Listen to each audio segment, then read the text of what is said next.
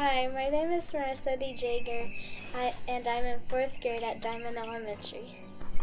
My favorite hobbies are sports, arts, and playing outside with my sisters.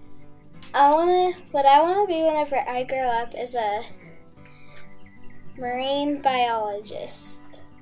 Here's the word.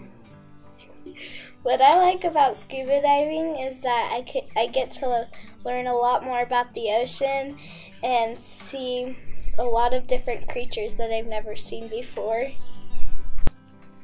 This is a story how I gave two people a Bible.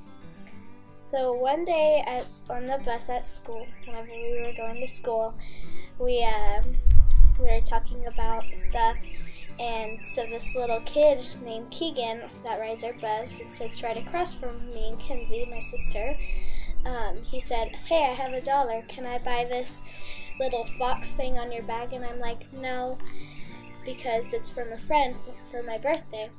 And he's like, Okay, can I see your Bible then? And I'm like, Yeah, I have one right here in my bag.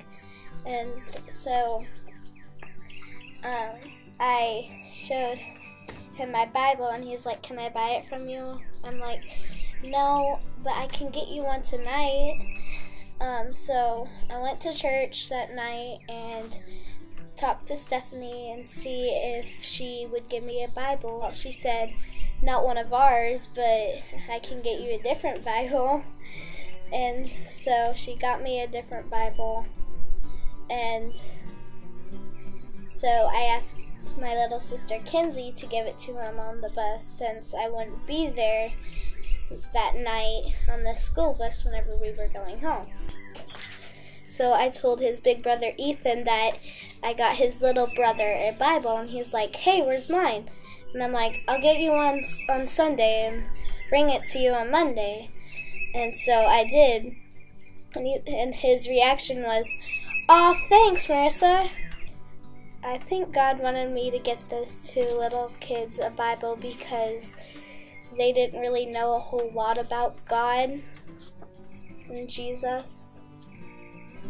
What I hope they'll do with their Bibles is uh, read it and get to learn a lot of a lot more about God.